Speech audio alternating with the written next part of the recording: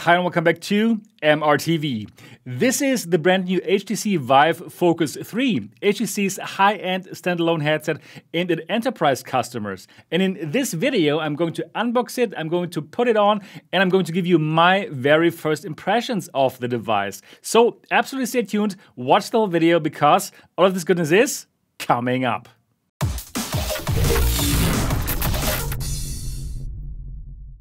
Welcome back to MRTV. My name is Sebastian Ang, and of course, if you've not yet subscribed to the channel, absolutely do that now.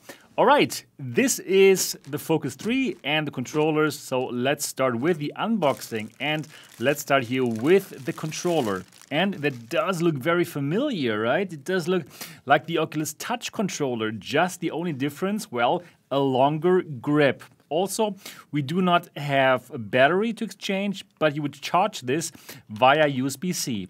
Other than that, everything is the same, only the trigger has a click at the end, also the grip has a click at the end, and it's actually pretty nice. Build quality is top notch. If you come from the Oculus headsets, you won't feel a difference here. It's really good.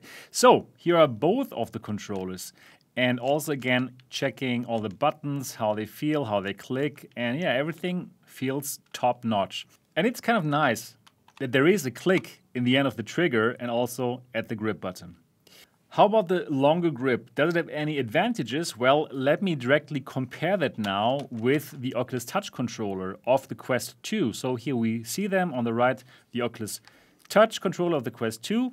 I think it feels great. I personally do like the Quest 2 controller, and well, in terms of how they feel, I wouldn't say that the longer grip would give you big advantages. And I do have already bigger hands than the standard person, probably, but well, probably for some people that might be an advantage. It's not a disadvantage.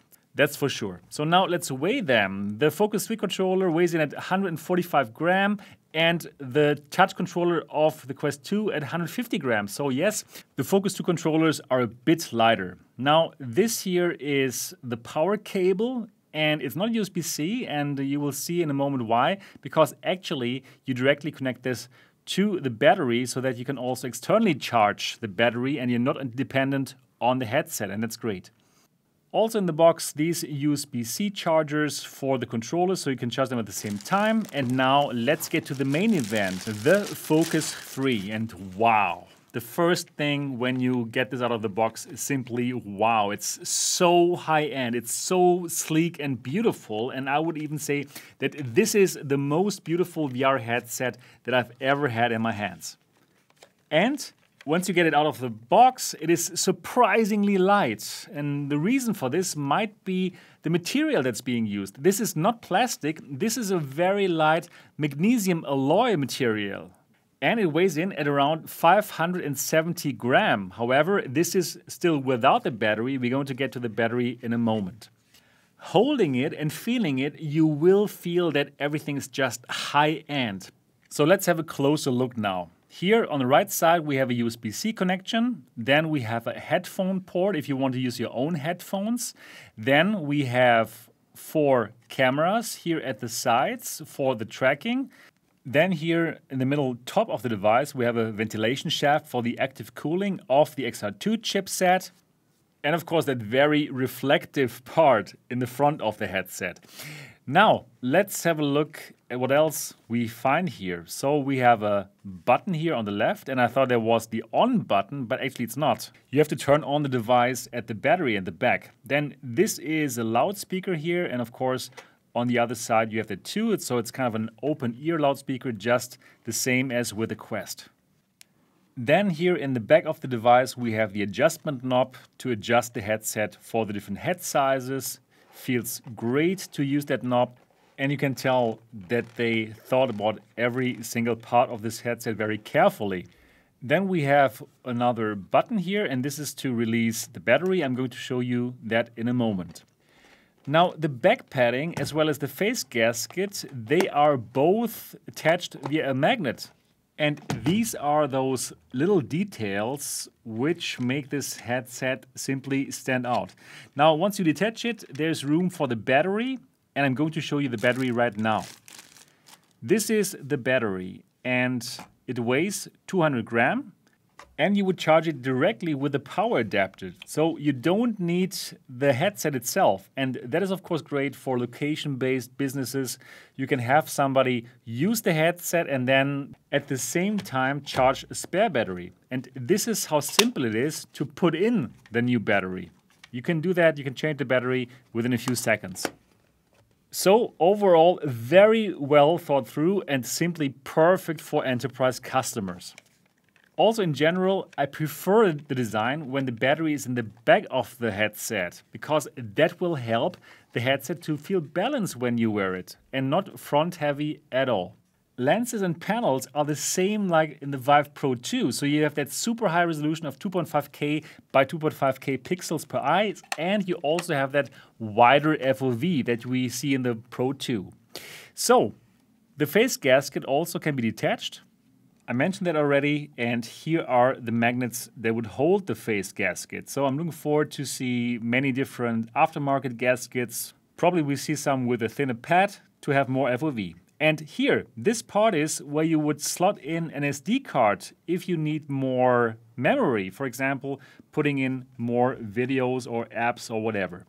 Then, of course, we have the manual IPD adjustment, really important for people who don't have the average IPD like I do. You can get up to 72 millimeters, and that is good.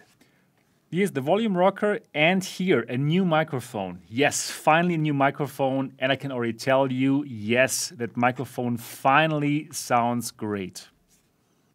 Probably this is the first for a Vive headset.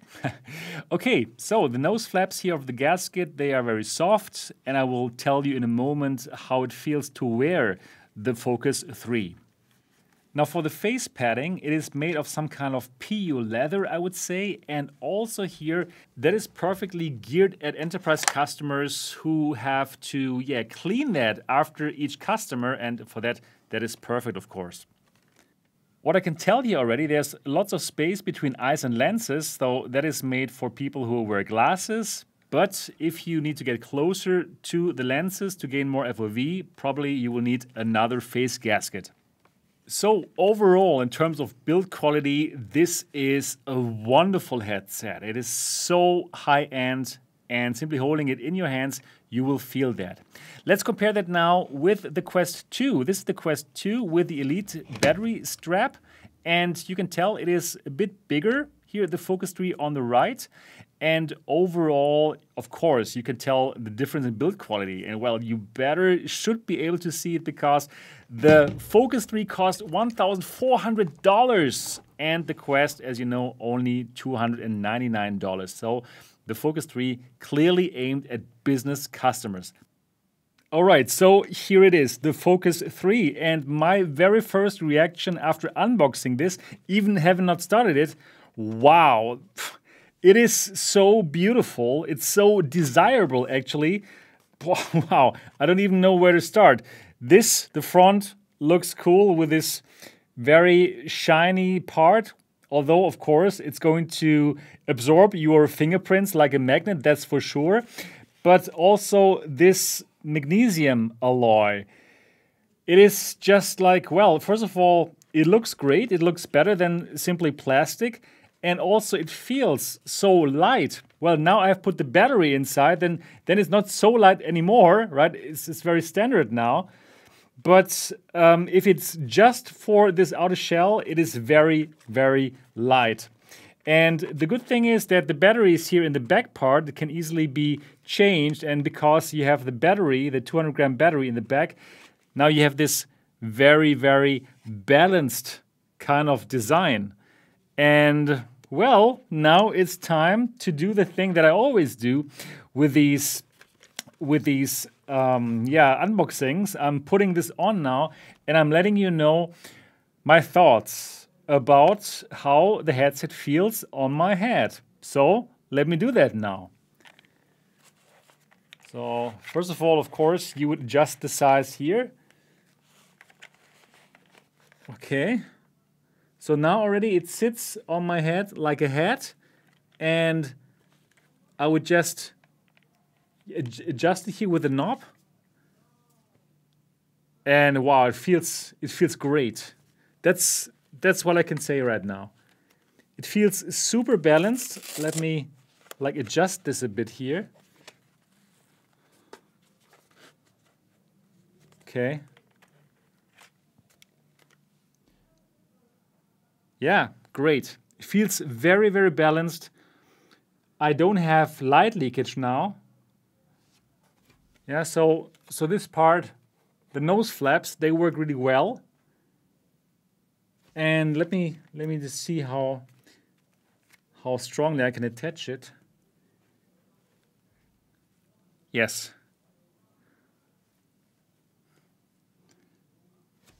This is good. This is really good. And of course, I need to I need to test it. I will definitely turn it on also within this video. But first impressions are really, really good. Really, really nice. Yeah, like like I told you um, before, the back part, it's the same material that the PSVR has at the front part, and you can simply take it off. It feels magnetic, and I'm sure it is also. And then this is the battery that you could easily replace if you want. Also here, the front, also like this. And yeah, I'm sure there will be lots of third-party solutions because I can tell already that this face gasket will put your eyes in quite a distance to the lenses. So I'm sure there's going to be one that's going to put your eyes closer to the lenses to gain more FOV. That's the first thing that I directly saw after, well, after I got these very good results with the Vive Pro, getting closer to the lenses. I'm sure this is going to happen here as well. Yeah, but first impressions about build quality, about the quality in general of that material, about looks. Wow, it is really nice. And you know what I have to do now? I have to turn it on for the first time.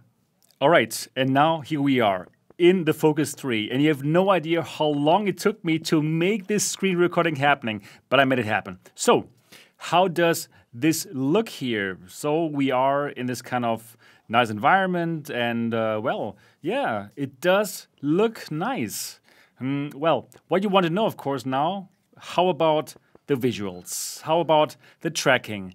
And I know you're concerned about the tracking because of the Cosmos tracking. So let's start with that first. Tracking. It uses infrared tracking just like the Quest. And I'm happy to tell you that the tracking is wonderful. It is absolutely on point, and I cannot feel any kind of difference as compared to Quest tracking. And that is a big win after how the Cosmos tracking was like, right? So, occlusion works fine. I can do all kind of things that I couldn't do with the Cosmos tracking. I can do everything that I can also do, well, on Quest. And the nice thing, also for the tracking volume, check check the laser that's coming out here, right? I can't see the controllers anymore, but as you can tell by looking at the laser, it's still perfectly tracked, even though I'm outside of my personal field of view. So tracking is great. How close can I get to the headset? I can touch it I can touch the headset and it's still tracking. So they have done an amazing job here with the tracking. That is good to know. So with this out of the way, let's check out further here what we have here. First of all, let me tell you about the visuals. Exactly the same lenses, exactly the same panels like on the Pro 2. And well, that is good news. Well, not so much for the lenses, because for the lenses, again, I had to find the sweet spot for quite a time. And then when I was in the sweet spot, yes, then I'm fine and then I have good clarity, real good clarity. And well, I don't see any kind of screen door effect. The quality does look better than on Quest 2. We have that higher resolution of 2.5 by 2.5K pixels. And yeah, it looks great. It looks it, just like on the Pro 2, on the extreme settings, with the full native resolution here though at 90 hertz. So that is really good. Also, in terms of the field of view, it is wider than the Quest It is exactly like the Pro 2. So you have that wider horizontal field of view. And um, yeah, the horizontal FOV is wider than the vertical one. And well, I'm perfectly used to it already. And that is good. It looks good.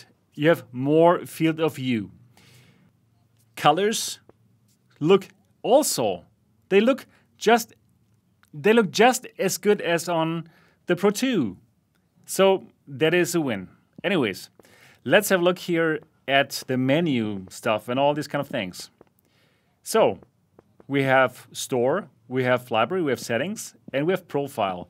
It's very straightforward. So let's click on store, and then you have that Vive Business App Store, and well, you have some staff picks, collaboration tools. You have some some things for entertainment, like also some games, and you can view more. Education. So this is not a gaming app store, right? But well, yeah, for for enterprise customers, this is exactly right, and you will find the stuff that you're looking for here in this store. Right, that's the store, and you also have the store in your app, and the app, well, it's very close to what the Quest offers. Also, for the setup process that I didn't show you here, it's exactly the same like on the Quest. Well, library. Okay, so for me, a few things were pre-installed here. The tutorial, which we're going to have a look at in a moment. Um, some other apps, Body Swap, and here a game, Hyperdash. We're going to look into this in a moment, and I'm going to let you know what I think. Then we have settings. We have all the different settings here. Yeah, general, yeah, right, language, and so on and so forth. Boundary. That is probably interesting to show you as well, right? So how would you set up your boundary and all these kind of things? Well, let me show you. It's exactly the same like on the Quest. Set the floor level. Let me click on it. Okay, that is... Now, let's set up your environment. That is my studio. First, check to make sure your virtual floor matches your real floor. It does. Okay. Confirm. And yeah, that's it. Same thing like on the Quest. Boundary. Okay, now you see how it looks now like Now let's here. set your boundaries. You shouldn't see that. Boundaries okay. define the edge of your virtual area.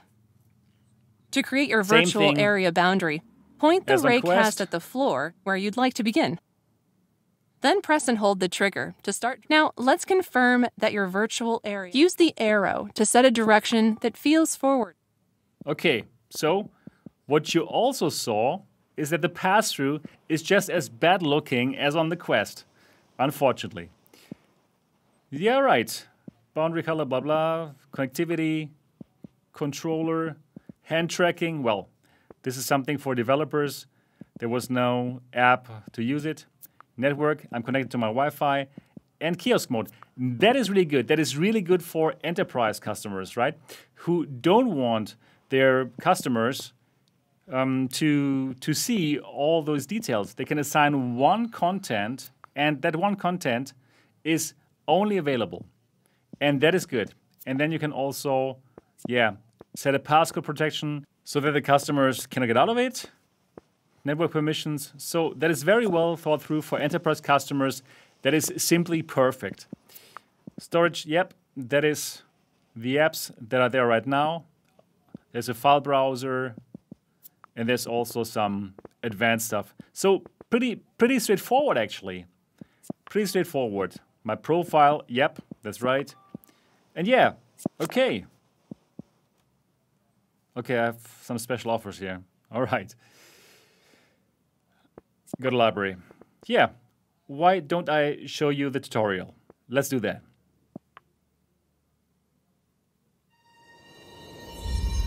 Oh wow, colors look so good.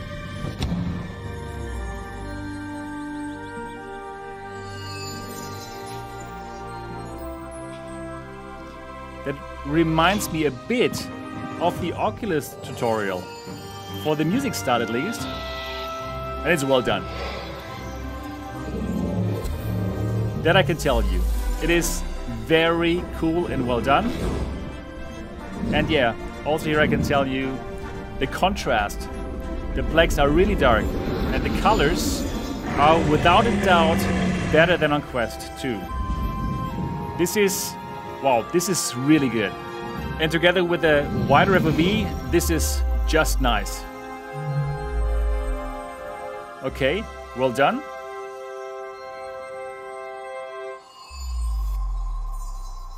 So this is a very cool sequence. And now, okay, there's a wearing guide and a, a controller guide, but I don't need to show you that. What I want to do now, I'm going to jump into Hyperdash. And I'm simply going to let you know about my thoughts. So I do see, I do see God rays now like white on black, right? We know this and unfortunately the same exact lenses like on the Pro 2. Yeah, okay, so let's... What do we do? Um, well, first of all, let me tell you how that looks here. So, it looks fantastic. It looks just as good as on the Pro 2 at the extreme settings with the native resolution and and that together with a wider field of view is really cool. Really cool to have this as a wireless standalone headset. That is cool.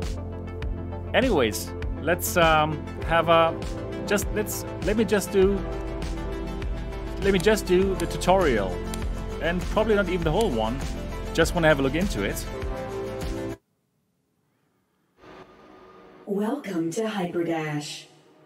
Let's start and your now, training. I'm not streaming anymore.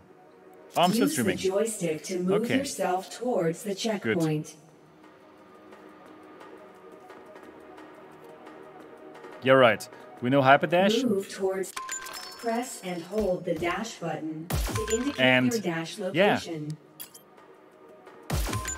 It's just so cool to have this in a standalone headset, you know? Press the button to continue It, to the next it feels room. like this PC VR graphics you can hold now the sprint button inside of a standalone faster. headset.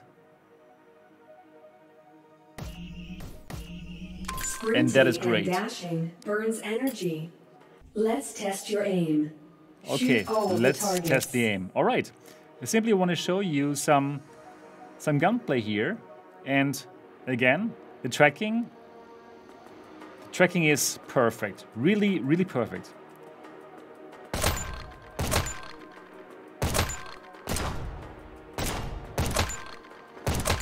Yeah.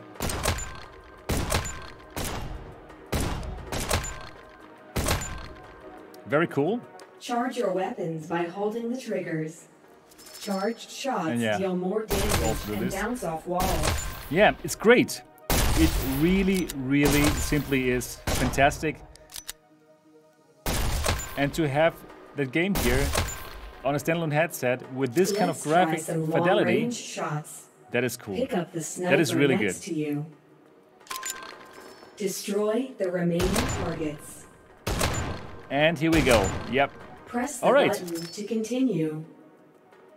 Let's get out of this. And I can get out of the game by clicking on the menu button. Okay, I'm casting right now. Okay. Actually, I want to go back to the lobby. So. Yep.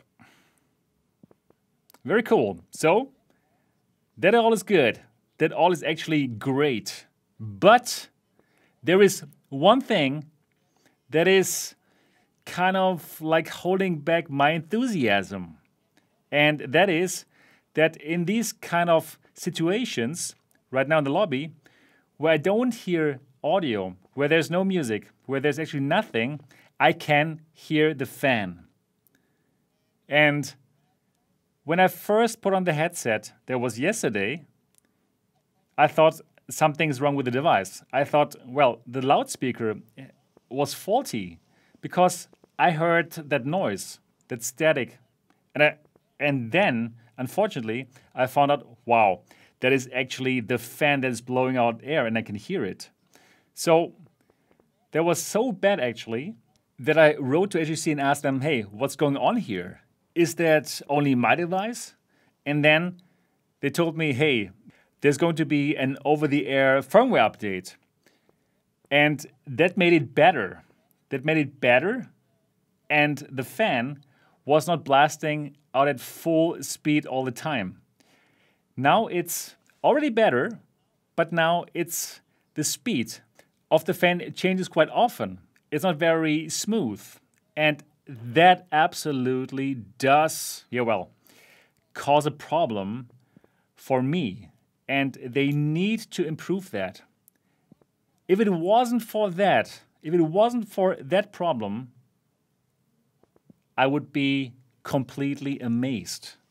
But this is a problem that we have to talk about, and I'm going to talk about it more in the end of this video, but we still have to try out a few things. All right, what I also want to show you is streaming PC VR content, but in order to record my screen, I'm also casting and it doesn't play together, I found out. So, about that, I simply have to tell you about now. And once the standard screen recording works, I'm going to show you that on my channel. So, let's talk about the device now. All right, let's get to the conclusion of my first impressions of the Focus 3. But before I get to that, let's talk about the PC VR streaming that I couldn't show you just now. So, how does PC VR streaming work? Well, there are two methods. First of all, with a cable, with a USB-C cable, just like Oculus Link. Actually, I used my Oculus Link cable and that worked fine. You have to install some kind of streamer app on your desktop, just like with virtual desktop. Then you connect it and then you start the business streaming application and then you are in Steam VR Home and then, well, you simply do your Steam VR thing. How well does it work? It works really well. So you can choose different kind of quality settings. I chose the highest one with a native resolution at 90 hertz, and yeah, it looked fantastic. I couldn't feel lag. It just felt as if I'm using a PC VR headset, as if I would be using the Vive Pro 2, but with this nicer setup here with, yeah, with that better looking device, which also feels great on the head. So that was great. I couldn't feel latency. I played 11 table tennis, I played Beat Saber, everything worked really fine. So PC VR streaming via cable, thumbs up. Now, this also already has the wireless streaming capability, and that is still in beta.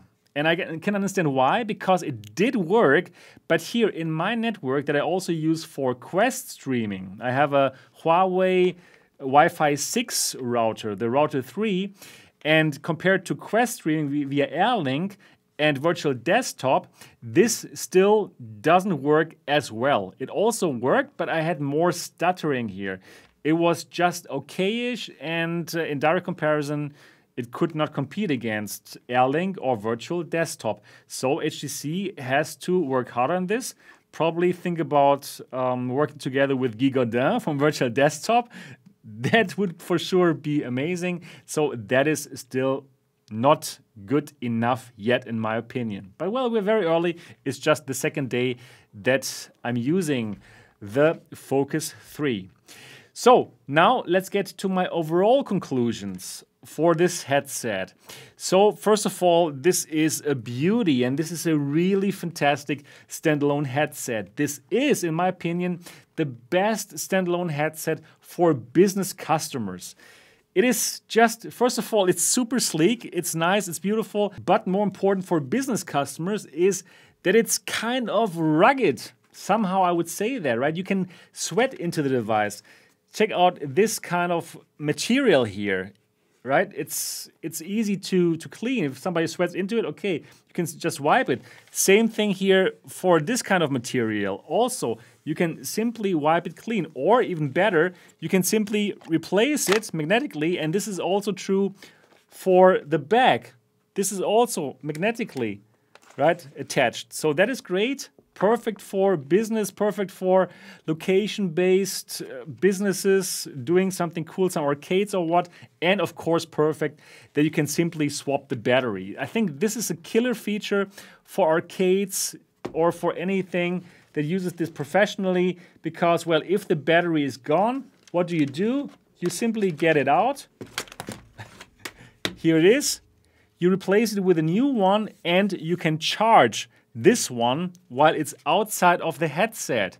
So yeah, it is great. It is just perfect for arcades, and um, I'm so looking forward to see this device with these amazing visuals, the great balance, the great comfort in a location based virtual reality arcade. I can't wait for this. If you set this up, please do let me know. I want to visit your location and check it out. And of course, also great is that finally we have great tracking with these controllers. So, first of all, the controllers they feel just as good as Oculus Touch controllers with a longer grip. Why not? Yeah, that is okay.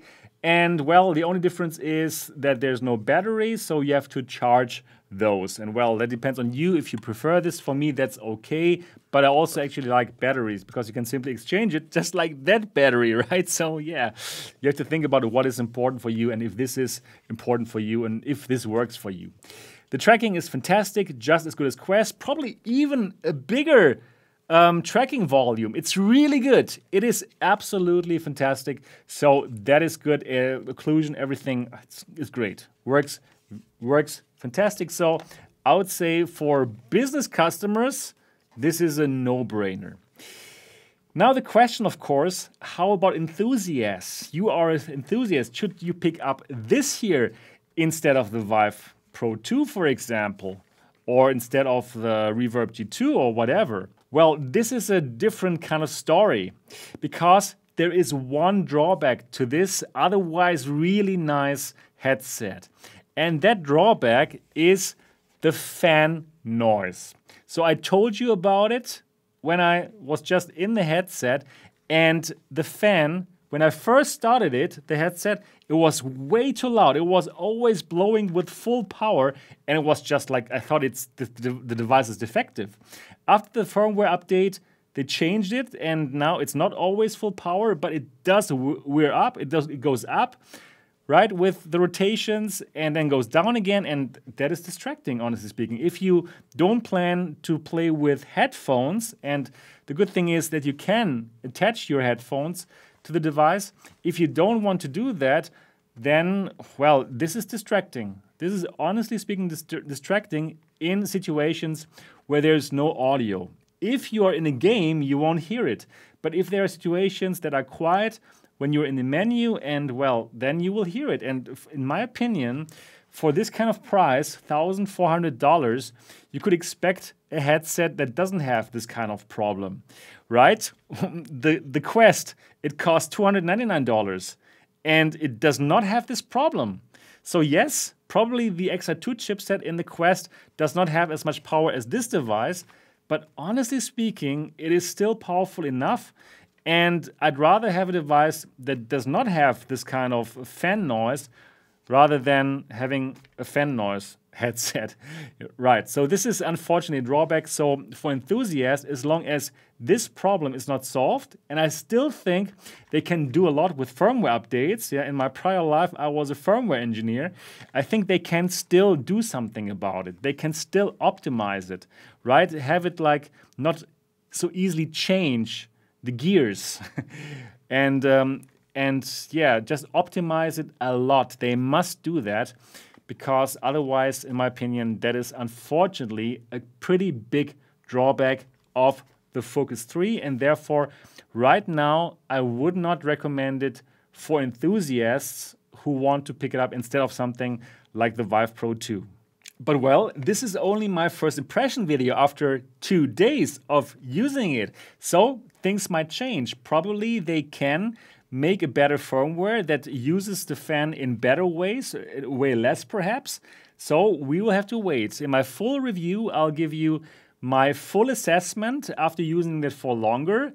Also, I will include, of course, the Steam VR streaming via cable and wireless in that full review, and that's something that you can look forward to. But I believe that after this early look, after my first impressions, you already got a very good idea of the Focus 3, a really, really desirable headset if it wasn't for that annoying fan noise if you're not using headphones. So that is something that I must tell you. So let's hope for the HTC firmware engineers to do an amazing job on that.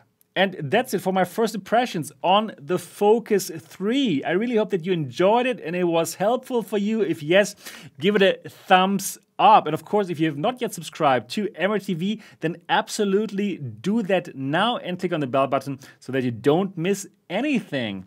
Also, if you want more content from me, then become a member of the MRTV Elite at mrtvelite.com. That is my Patreon channel, and you get so much more content. For example, members of the MRTV Elite knew about my first impressions way earlier than you, and that's only for $1. So if you love independent XR reports like this one here, then supported by becoming a member of the MRTV Elite. That's everything that I got for this video. Now I want to hear from you. Make some noise for the algorithm and leave me a comment. What do you think about the Focus 3? Please leave me a comment. And now I'm looking forward to see you in the next episode and in the comment section. Bye bye.